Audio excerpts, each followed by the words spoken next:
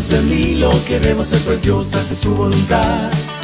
Perseverar en oraciones es algo para contar. Es una forma de vida más vivo y feliz porque no soy lo que quiero ser ni lo que debo ser, pues Dios hace su voluntad. La vida hoy es como una autopista. Yo iba conduciendo a mi manera. Las cosas no andaban muy bien, más todo mejoró porque no soy lo que quiero ser ni lo que debo ser, pues Dios hace su voluntad.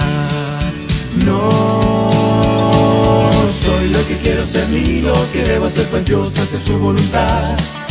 Perseverar en oraciones es algo para contar. Es una forma de vida más vivo y feliz porque no soy lo que quiero ser ni lo que debo ser, pues Dios hace su voluntad.